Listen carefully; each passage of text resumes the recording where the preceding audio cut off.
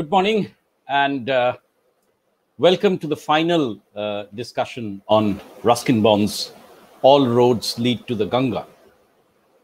Now, in our last two uh, sessions, we have talked about how uh, Bond talks about the travelogue as a largely free form of uh, writing in the sense that it can it does not have to follow the rigors of the novel or any of that kind of a genre, but can quickly meander across different topics and have a kind of a sprawling breadth.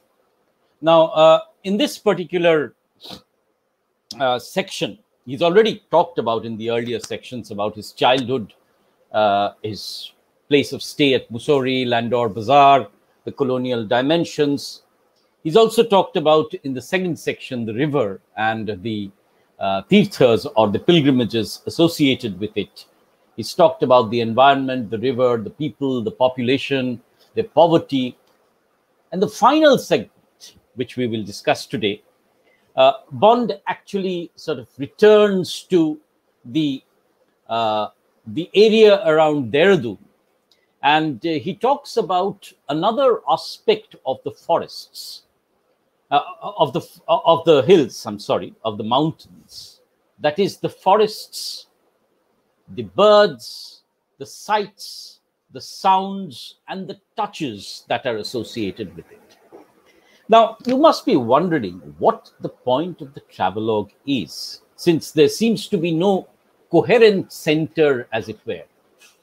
Now, the travelogue is about the Ganga and the kind of topography that the mountains bring. But as we have pointed out, it is equally about Ruskin Bond, his personality, his selfhood, his career, his love for the trees. So, in a certain sense, the travelogue begins with Ruskin Bond, his immediate uh, surrounding of Mussoorie, and ends with his perception of the hills, as it were, the mountains, as it were. So, in the last segment of the text, again, the Ganga disappears. So, it does not appear in the first section, it is centralized in the second section, and then it disappears in the third section when Bond is Bond talks about the, I would say, the composite element of the travelogue and of the mountainside. That the mountain is not merely about the river and the people, that the mountain is equally about the flora, the fauna, the sights, and the sounds of the travelogue. Remember, that in most cases we have found that the travelogue is extremely you know site specific in the sense that it depends largely upon the visual impact of the hills but what bond suggests is that apart from the visual impact the travelogue is equally about the different senses that are associated with the travel. The other thing which I would like also to point out is how, you know, memory, memoir shapes the travelogue. And that memory is an integral part of remembering the experience and framing it into, into the text. So there are kinds of travels here which are taking place. You know, there's travel into topography, and then there's travel into history, and then there's travel into personal memory. So, when I talked about the different timelines of the travel, that of the distant past, that of the colonial past, that of Bond's past, and that of Bond's present. So, these are as it were, welded into the travelogue. And Bond's travelogue, therefore, talks about the importance of self and memory and the creative memory of the artist equally as the Ganga and the topography involved. So I think that is a fascinating aspect of this travelogue. Now, let me just run you through the, the last chapters, as it were. And here, I, I'm afraid we will not pause much because there's very little to uh, actually uh, sort of read into. Bond talks about the great trees of Garhwal for the uh, in the first instance, and immediately talks about the walnut tree of his compound. Right? You see how you know the empirical topography and the personal topography of space kinds of uh, sort of overlaps with each other in this particular travelogue that it is always my and the mountains. So there's a sense of you know intense belonging also here that bond does not separate himself from the mountains that like colonial memory his memory, his personality is also grafted into the body of the Himalayas, as it were. So he talks about the walnut tree and he says that this was a tree for all seasons. In the winter, the branches were bare. And then he talks about the fruits of the walnut and the disappearing fruits of the walnut. So, once again, the anecdotal pattern, right, that the travelogue is as it were interspersed with personal anecdotes. These are actually moments. You see, it's important to understand what the anecdote does. The anecdote is a moment of time or an experience which then radiates out to talk about the kind of uh, general existence around.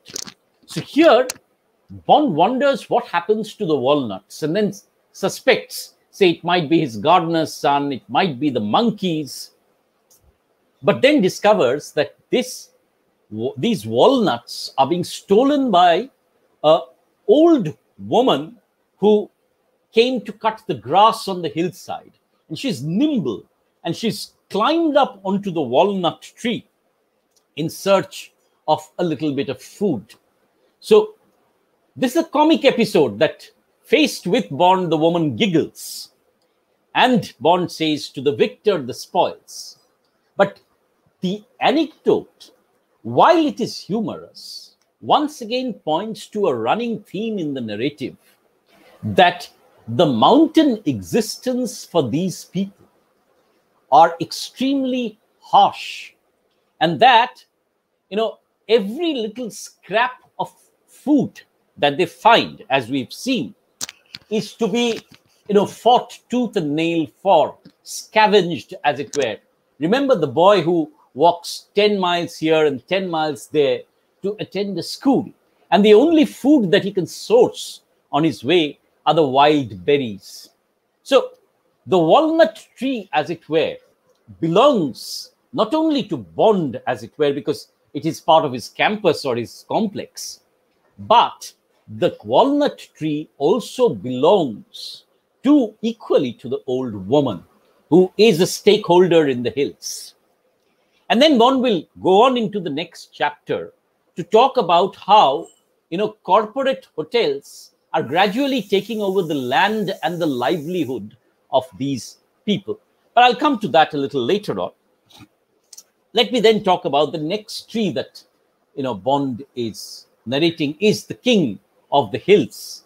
And he talks about the Deodar, which is known as the Dujar, the Devdar, the Kelu, or the Kelan.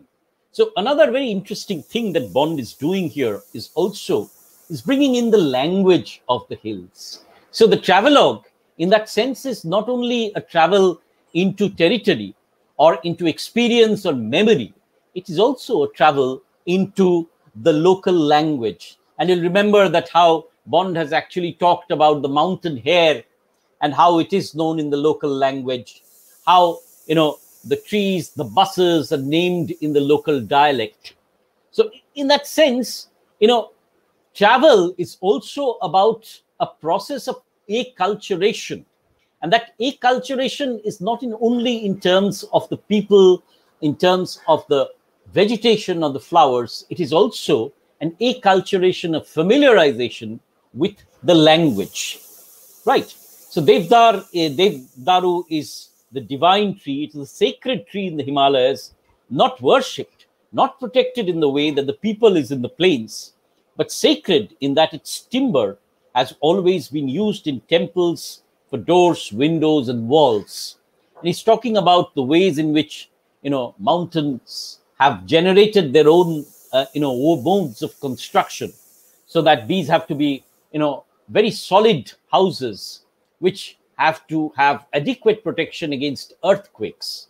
And again, they may, can be dismantled and mantled with ease because the earthquakes and the floods are very familiar. Now, he then talks about the Deodar and its girth. He talks about the 15, 20 feet girth, the height of the Deodar as having risen to almost 250. And he suggests that, you know, these details, this is an interesting uh, point which you need also to talk about, that Bond is also writing this uh, travelogue not only for the people uh, who want to learn about him, but equally about to learn about the facts of the mountain. So there's a distinct amount of factuality which is blended with personal reminiscence. So he talks about the height of each hill station, of each of the Panchakedars. He talks about the girth of the, you know, the tree uh, beneath which Shankaracharya had worshipped. He talks about the average width and the height of the Deodar. And then this chapter has a very interesting last passage. These conclusions in Bond are very interesting. He says to return to my own trees. So there's this sense of belonging and ownership of the place. Now, you see, ownership might be in terms of plundering, scavenging, exploiting the forest. Bond has a different sense of ownership. It's based on belonging and coexistence. That is a very important statement that Bond is making that the question of sustainability and participation of the stakeholder. Now, you see, very interestingly, you can study the environment, you can study eco criticism, which is you know being taught to you in various guises and theories. You can teach eco criticism in terms of theory, but it will hardly matter and Bond's audience is, of course, one part of the audience is children. So, how can Bond inculcate this sense of the relationship with nature? And Bond does it in a very simple style by inculcating a language of partnership, ownership, and sensitization. So he talks about the forest as his own. At the same time, he recognizes that the forest is much more powerful and long withstanding than him. The forest is part of an eternal time, whereas he belongs to a very finite time. So the first element is to reverse this man nature relationship of power. He suggests that nature is infinitely more resilient and powerful than man. Secondly, the point that he's making is that this tree does not belong only to him, it also belongs to all the people of this particular area. So, the sense of partnership, the sense of community to which the forest belongs.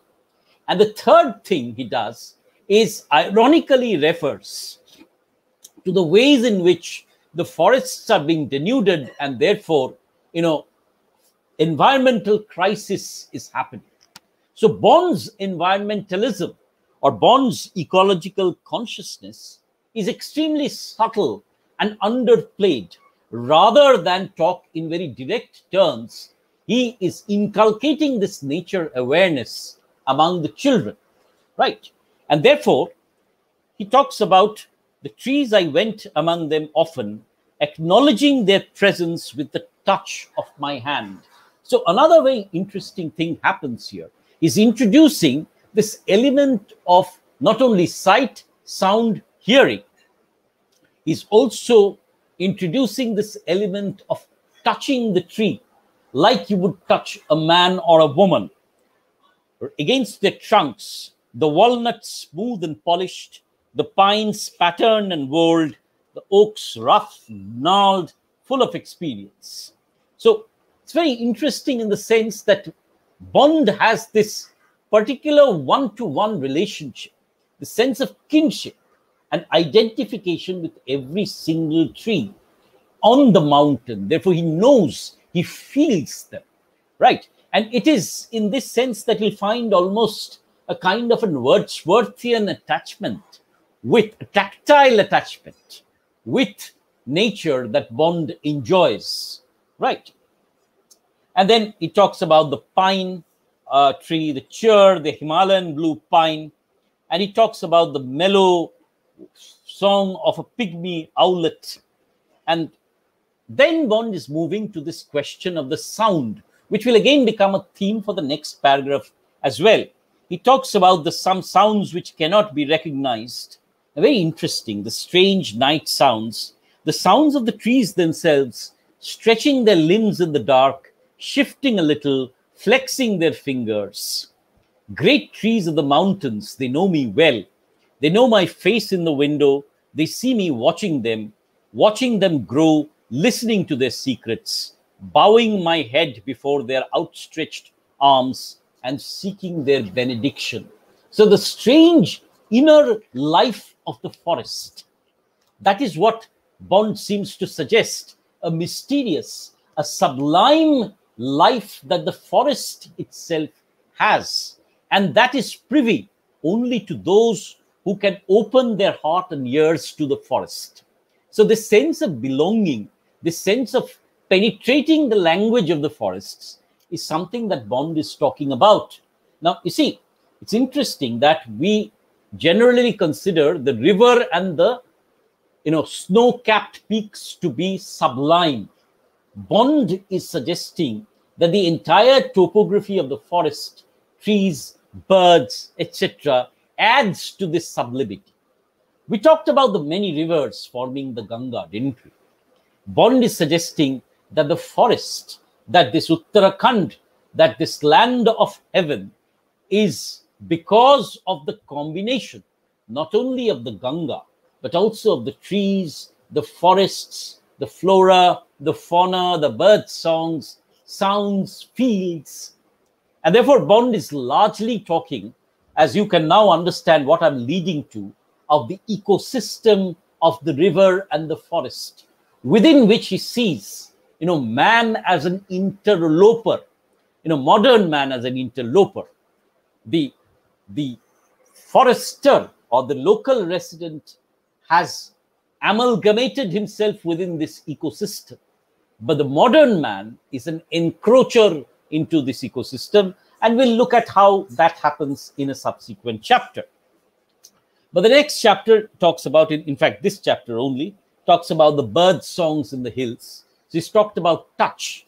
Now he'll talk about the sounds of the birds.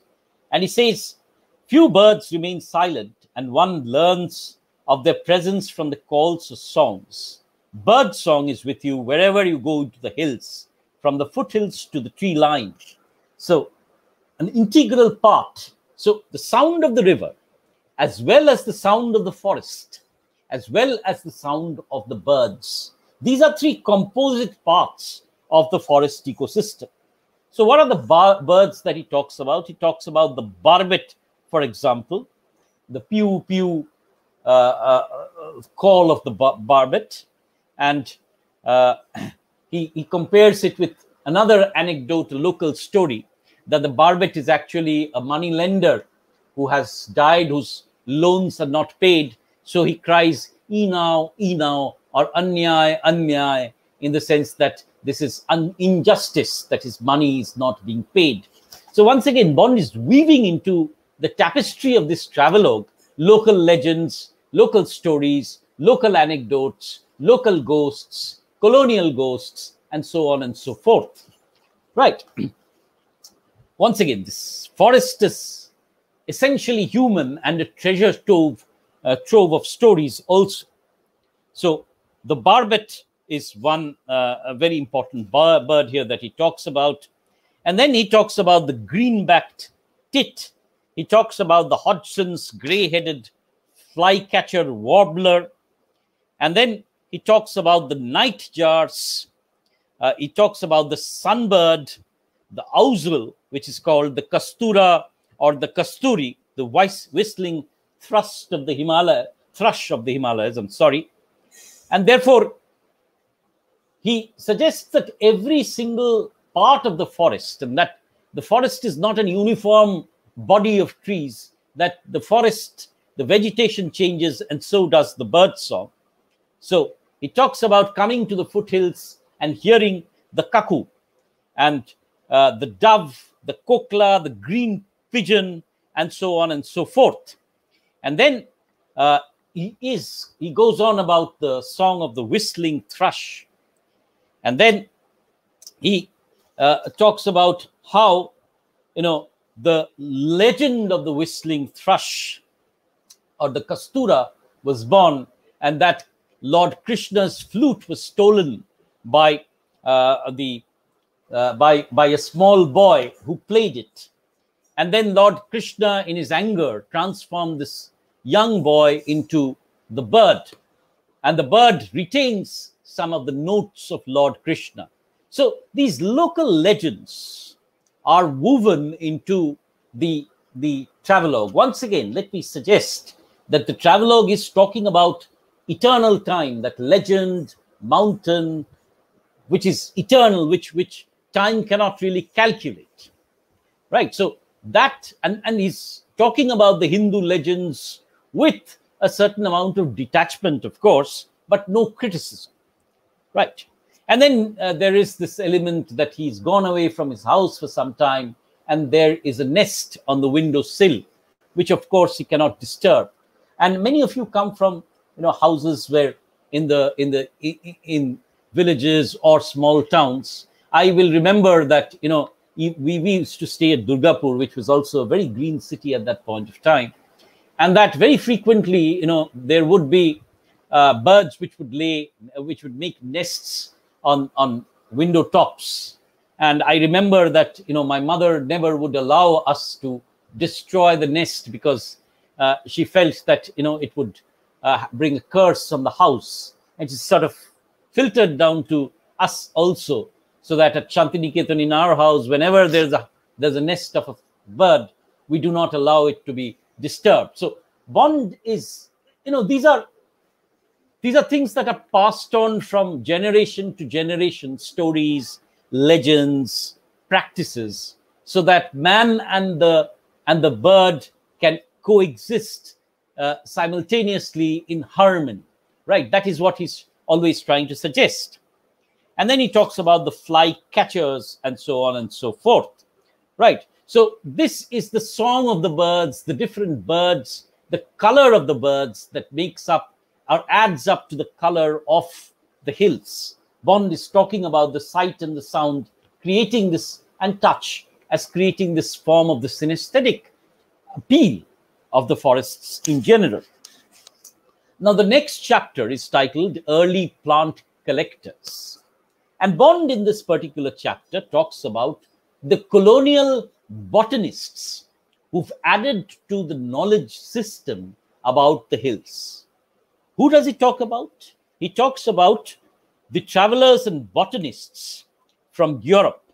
He starts with Thomas Bogle, who traveled through Bhutan, William Kirkpatrick, 1793, who travels to Nepal, and Thomas Hardwicke in 1796, who travels to Srinagar in Kashmir. And he talks about Hardwicke and Claude Martin and their work in the northwestern Himalayas and their you know, publications in the Asiatic Researches in 1799 he then moves on to through this colonial history to William Spencer Webb, an officer of engineers and a surveyor who actually sort of, uh, with his local companions, uh, explored the flora and the fauna of the Garhwal region. And then he talks about William Moorcroft, who was actually a veterinary officer. And he uh, sort of talks about his work in the Manasar, Manas Sarovar ranges. Then he talks about the people who specifically worked at Dehradun, and he talks about the visit of Lord Hastings and the uh, creation of a botanical garden, uh, the Najib ud garden of Zabita Khan. He talks about William Spencer Webb, Alexander Gerard, Patrick Gerard, on which whose names very often the names of the trees were uh, named. He talks about Quiver, the uh, the French botanist. He talks about the ja uh, Jacquemont, another French uh, botanist, uh, and the relationship between you know the study of botany in colonial Calcutta and the study of botany in the hills. And also, he talks about General Allard, who had this penchant for you know botany, and he uh, found the flora and the fauna, and he documented them. Now, he talks about the fact that not all these early plant collectors, and that is the conclusion that I'm reading, were botanists. But the spirit of inquiry was common to all of them. They were seekers of knowledge, and there were many like Jacquemont who were prepared to risk their health and even their lives in the pursuit of knowledge. So the point remains that in this particular segment, Ruskin Bond is once again going back to the colonial history. Right, you remember there was an entire passage about how Mussoorie was laid by an Englishman. And then he talks about Jim Corbett. He talks about the people and the administrators who have added and become legendary in the history of these hill stations. And then he equally talks about the botanists who have preserved, documented, and found these, discovered these various flora and the fauna. So Bond is once again going back to this idea that he's an Indian not because of race and, and uh, or, or in terms of power, but also in terms of history. And that, you know, if there is this history of an eternal time, of legend, of Hindu uh, Vedic traditions, then there is equally part and parcel of that uh, Indian tradition is the colonial time and the contribution made contribution made by these colonial uh, travelers, these colonial botanists. So Bond seems to suggest that if there is a Mandakini of eternal time, a Bhagirathi of eternal time, then there is equally an Alakananda of colonial time that has added up to the composite sense of existence of the colonial uh, of these uh, of these locations of the hills and that without this colonial history the hills can never really be read or understood so in that sense, Bond is talking about, not talking about the segregation of these lands into just pilgrimages, but also the mountain as a gigantic ecosystem, which the colonial historians and botanists have tried to perceive and protect. Right. And then comes two uh, very interesting chapters, uh, the concluding chapters of the book. He, he titles this The White Greens and the Green White Clouds and the Green Mountains. Talks about a particular time. You remember this is written in October, late September, early October, which Bond says is the best time for the mountains because the rains have gone and the white clouds have come out and there are waterfalls all around.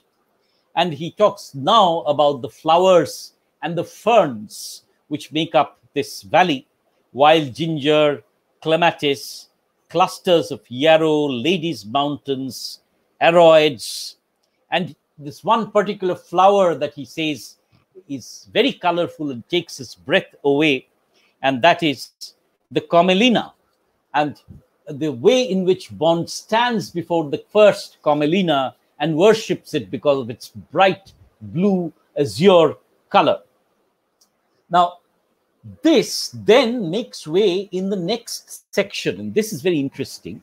The next section about the cut from Bond's personal world to the actual modern present day world of modernity. Right. So Bond has been talking about, as I said, four times the ancient Vedic Hindu mountain time, which is eternal, which you cannot really date. Then comes the colonial time, which is vital for the discovery of these territories and the protection of the flora and the fauna.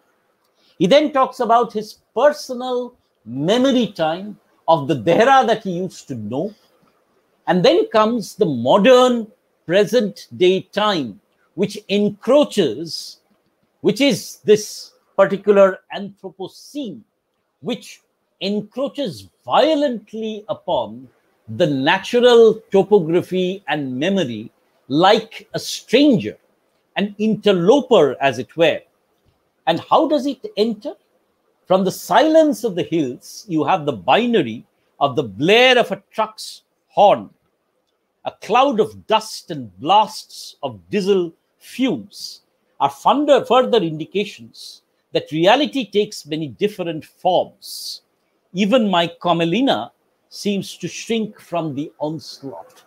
So there's a distinct past and a present, and the present is marked by the rape of the forests almost by construction, buildings, and cement. And he says, What did Aunt Ruby say? Uh, stand still for five minutes and they will build a hotel on top of you. Now, I know that there are many of you from the hills here, and you'll remember you must have talked to your parents and grandparents about the mall of Darjeeling or the various locations of Kurseong, even places like Rishop and so on and so forth, which were more pristine, and how you know everyday hotels are coming up and encroaching upon nature and transforming the topography of the landscape. Right. So he then evokes Lot's wife, and uh, when she looks back upon her native land, you know, she's transformed into a pillar of salt. Similarly, pillars seem to be coming up all over the mountains. And he says, I have an uneasy feeling that I'll be turned into a pillar of cement if I look back. So I plod along the road to Devasari, a kindly village. And in contrast to these, you know, urban hotels that transform and pollute the topography of the hills, he then posits as its antithesis the kind of the old, quaint tea shop, which is hospitable, which is eco-friendly, and which can provide you know both refreshment and shelter to the people.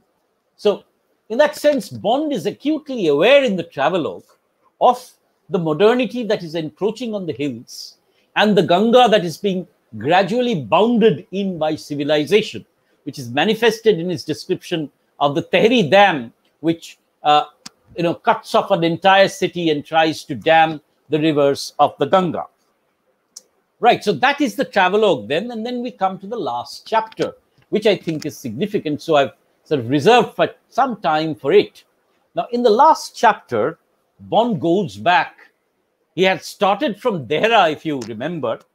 The first uh, chapter was called The Writer on the hill, and he talked about uh, Dehra and Mussoorie, and he goes back to Dehra once again, but this is through memory. The Dehra I know, and he talks about the three Dehras that he knew. First is as a childhood when he stayed with his grandmother. You know, the Dehra of my school days when I used to come home for the holidays to stay with my uh, mother and the, my uh, stepfather until he leaves for England. So this is the Dehra of his of his childhood days, right? Which is the quaint little town with very few people, enormous trees and forests. And then he talks about his London time, his writing The Room on the Roof, which most of you have read. And uh, then he talks about how the innocence of Dehra actually sort of was translated into the innocence of the room on the roof and how most of his stories, his writings have generated from the people and the topography that he knew. Right. And then he talks about uh, his return to India at the age of 22 and his living and scrounging for a living as a writer, living on the top of uh, his stepfather's former wife's uh, shop, BBG shop. And he says this was a room with very little amenities, a small room where you had no electricity and used to write with uh, candlelight. And he finds that very romantic. And he says, I was happy cooking up stories, most of them written after dark by the night of a kerosene lantern. And he says, I was quite content to live by candlelight or lamplight. It led to a romantic grow to my writing life. And then he recounts through memory his writing of the stories of Deoli, Dilaram Bazar, romantic episodes in Shamli, Bijnor, and he talks about the Paltan Bazaar, the Dalanwala, the tea gardens. And he says, you know, how does a writer write? So the travelogue now, you know, it goes back to the memory of his writing rather than the topography. And he says that the atmosphere of the place comes through quite strongly in his stories. When a writer looks back at a particular place or period in his life, he tries to capture the essence of the place and the experience. So you see, it's very interesting that the travel travelogue starts off with his memories of childhood and a writer on the hill, his identity as a writer, it's coming back to his identity as a writer and his creativity. So we were talking in our early theoretical classes on travel writing about how the traveler is essentially writing himself rather than write the place. So Bond is also in this particular travelogue, and we talked about how the travelogue is really in the form of a memoir, and the presence of the self becomes very important. And this is probably a question that may be asked to you for the final examinations as well, as to how does a traveler, travelogue writer sort of put his selfhood into travel writing, or what is the relationship between the self and travel writing? So this is a particularly good example that Bond suggests that writing about travel is also writing about his self, writing about the journey in the mountains and of the Ganga flowing is also a journey about his self from uh, you know young youth to adulthood. And then he talks about his self, uh, his his stepfather, and so on and so forth. And he talks about his Dehra stories as uh, as having generated his characters. And so Granny was real, of course. Uh, so were the boys in the room and vagrants. But did Rusty make love to Meena Kapoor? It's a question which I have often been asked and must remain un- unanswered. It might have happened, then again, it might have not. I prefer to leave it as a sweet mystery that will never be solved, like the mystery of the mountains that you can perceive, but you can never really stop or solve. Right. And then he suggests that it is the ambience of the place, something about it that suited my temperament. So the making of the writer, you know, this journey has been about traveling through the Ganga, imbibing the place, but it's also a journey about the making of the writer, about how the place seems to permeate his writings. And then it closes uh, with the reference to a blue weed called blue mint, and it grows in ditches and neglected gardens. It's nearly there all the year round and is associated with Dehra. This is one plant that will never go extinct. It refuses to go away. So the third Dehra that he's talking about is the Dehra of now, which is a cosmopolitan urban jungle. But he says that the spirit of this hill station, the spirit of the mountain, and the spirit of his younger days, the memories of the Dehra that he knew, will never go away. I've known it since I was a boy, and as long as it's there, I shall know that a part of me still lives in Dehra. So ultimately, this travelogue is not really about the river Ganga or Mussoorie or Dehradun. It is about Ruskin Bond and his perception of the place. It is about the journey of a self through its memories, through its territories, to understand how the mountains, how the people of the mountains, how his ambience has shaped him as a writer. So, as much as a journey of the Ganga, or as much as a journey across the Ganga, this is a journey across the people, the place, the sound, the flora, and the fauna that make up Ruskin Bond. It is a journey into selfhood in many ways. So, finally, let me wind up this discussion on Ruskin Bond. You know, we started off with this idea of Ruskin Bond's identity and this very strange identity that he has of being both an insider, is born and brought up here, is part of the place, he knows the mountains intimately, he knows the places, the people, is aware of their tribulations, is aware of their difficulties. So he's an insider into the place. At the same time, as a non Hindu and as an Anglo Indian, he is also given a kind of a unique external perspective through which he can look as an observer into the legends, myths, and the people and the modernity with a certain amount of detachment. Right. But please remember that in Bond, it's very important to understand that he does not look at these with critical judgment. He's sympathetic and neutral. Only when it does come to this desecration of the forest and the environment and the transformation of the topography into ugliness does Bond create a kind of a mild, ironic, satirical tone. Otherwise, you know, this rambling kind of sort of narrative has a structure of beginning with his own territory, his own topography in Mussoorie, as a writer in the hill, then traveling up the hill and understanding the people who will now uh, sort of provide him with the grist of his stories, and then coming back to his own memory as a source of his creativity. So it starts off with Dehra and Mussoorie, comes back to Mussoorie, having traveled with the Ganga. So, in a certain sense, you will find that the Ganga is not important.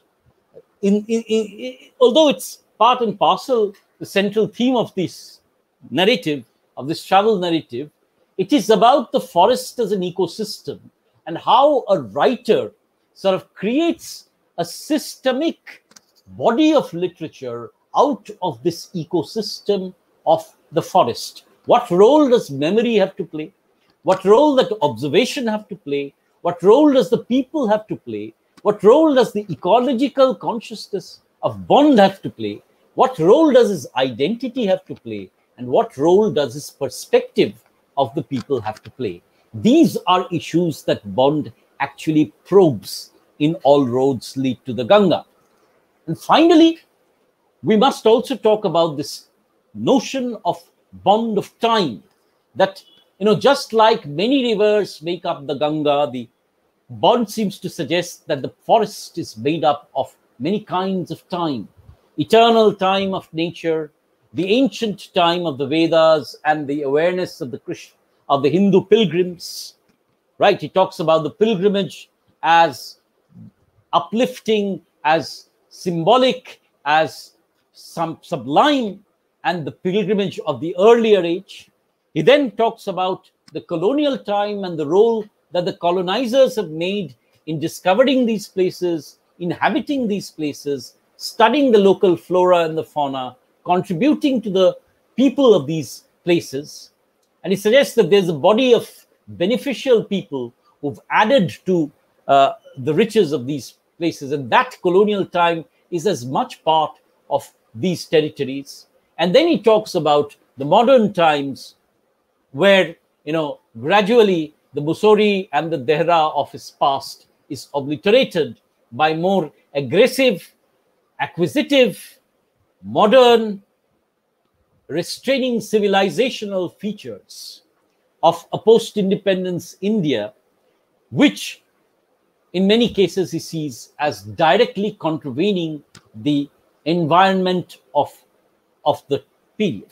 But triumphing about all these themes is his personal history with the place, his unique relationship, his story of growth, his story of belonging to the forest, knowing the forest and its people, and growing as a, as a literary figure. So the contribution that the Ganga, the ecosystem of the forests, and Dehra has made to his body of as a writer is something that Bond seems to journey across.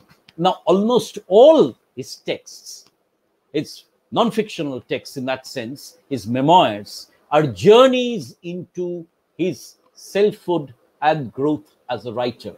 And therefore, if all roads lead to the Ganga is a travelogue about traveling through the hills, it is equally about traveling through his creative personality. And it is in this intimate blending between the self and the travel that you see the impact of the traveling travel writing lies. And that is what i intended to highlight before you right? And that you know this becomes a kind of a pilgrimage text without really a sense of a pilgrimage. So there's the sense of how pilgrims travel the sense of uh, a kind of uh, the search for symbolic meaning and sublimity at the same time, Bond suggests that there are alternative versions of this sublimity through physical delight, through the knowledge of the people. And once again, there's this small irony that the Ganga really does not matter for these people because it's not the river which matters to them, it's the rains. The Ganga is a source of sustenance in a different way, in that you know it's a source of tourism and therefore life. But at the same time, this tourism is eating away into the kind of environmental uh, coherence that man had with them. Right. So these are the issues that I think are important for all roads lead to the Ganga. Let me uh, uh, take you uh, through your questions then. Saurabh has uh, sort of talks about Bond's perspective of nature is based is it based on the Western notion of deep ecology or is it based on third world environmentalism, which tends to deny the notion of deep ecology, or is it moving between the two? Uh, you see, once again, I, I have a little bit of a hesitation because Bond quite clearly does not want to be mired into these theoretical debates. Now, uh, Bond, of course, uh, there is this suggestion of the deep ecology in the sense that, you know, uh, as a writer, he understands that uh, the Dehra that he knew and the writer that he has become was shaped by a particular ecological uh, ecological dimension or a particular ecological state which then provoked his state of being. And therefore in many ways he is uh, he is reluctant to let go of that memory right he's reluctant to let go of that memory. So, in that sense, there is probably a sense of deep ecology within Bond's writings, but uh, and and I, I don't think really that you know Bond is an environmentalist in the sense of an activist. And say whatever he does is also done very very subtly. He he shows his disapproval, but there's no you know there's this sense of being the observer rather than the activist.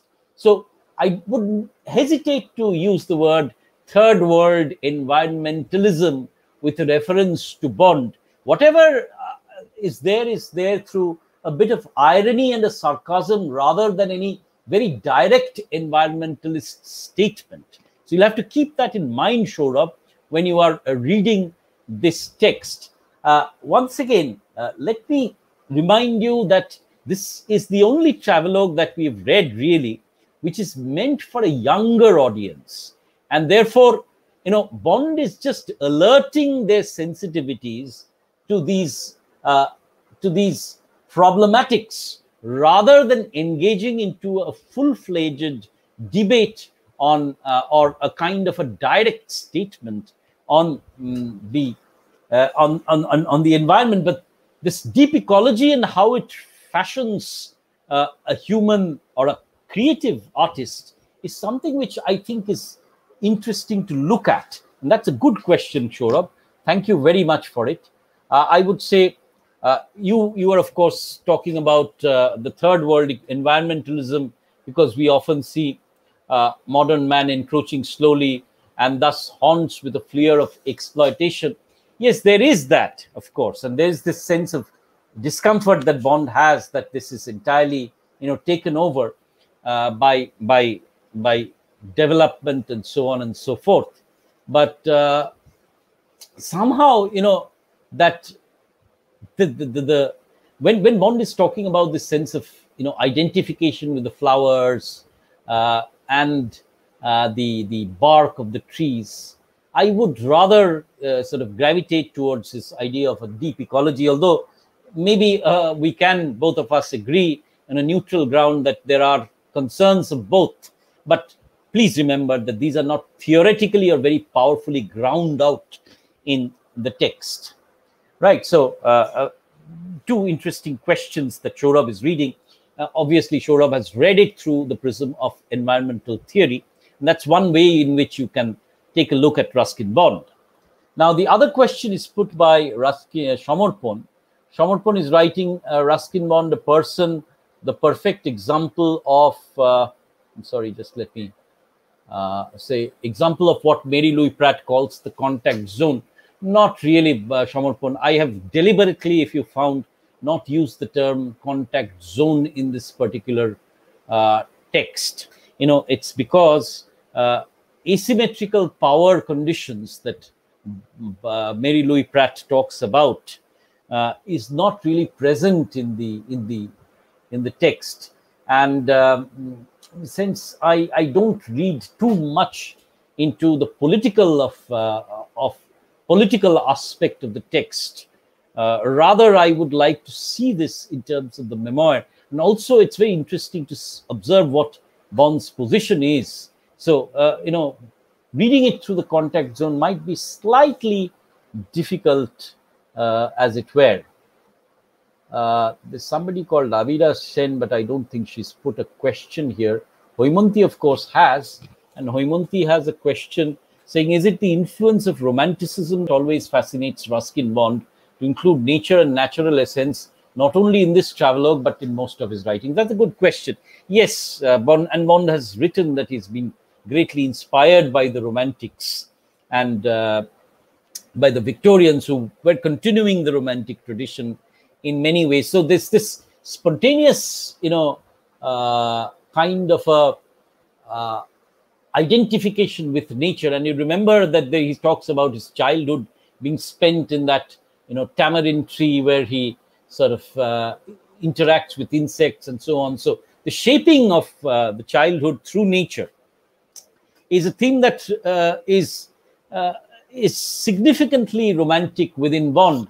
But also there's this, and there's this hostility, or uh, we'll not call it hostility, but there's this disapproval of the encroaching city, which gradually eats up the memories of his of his childhood, the importance of memory in the creation of his writings. So there, there is a lot of the romantic uh, uh, sort of influence that goes into the making of Bond. Uh, I, I, am quite, I'm quite sure about that. So Hoimonti, you have a point, and uh, therefore I, I, take away two very good questions, one by Saurabh and the other by Hoimonti. Shamarpon's question is also relevant but I do not really agree with what Shamarpon is saying. I therefore a little hesitant using the term um, contact zone with reference to Ruskin Bond. Maybe uh, in a final class uh, where I can have you in a Google Meet session rather than in a YouTube session, we can uh, discuss uh, some of these problems uh, before your internal examination happens uh, live so that we have a more more open forum for discussion. Right then, well, that is then Ruskin Bond's All Roads to the Ganga. With that, we come to the end of what has been a rather fascinating course on travel writing. We've talked about the theory of travel writing, perspectives of travel writing. We've talked about early colonial travel writing uh, through the writings of uh, Abu Taleb uh, it was a fascinating journey to see him uh, talk about technology and uh, the the reception and the the circulation of that travel writing. We've taken to the small towns of India with uh, Bishwanath Ghosh in Chai Chai, and we've also uh, sort of looked at uh, the kind of traveling in the forest, uh, in the mountains, and as a pilgrimage which is not a pilgrimage really in Ruskin Bond. You have, of course, traveled to Europe with In Rabindranath's uh, Europe Jatri, uh, Europe Prabashit Patro. and Anunna is taking you on a woman's trek through India through Veena. So, all in all, I uh, thank all of you for having participated very enthusiastically in this course. I'm, of course, still to yet to hear from Ruskin Bond. If I do hear from him, I will uh, sort of uh, try and arrange a kind of a Google Meet with him. If not, we'll have to now focus our attention to the internals, which will be held on the 22nd at 10 o'clock as usual, uh, and where I will sort of put general questions which might involve all the three texts that I have taught. There will be options, of course, you'll have to answer one of the two questions that are given. So I hope you've enjoyed uh, sort of doing this course as much as I have enjoyed interacting with you. Thank you for being here. And with that, let me close the teaching component of this course. Have a good day, everybody. And I hope all the best for your uh, internal examinations on the 22nd. Thank you again.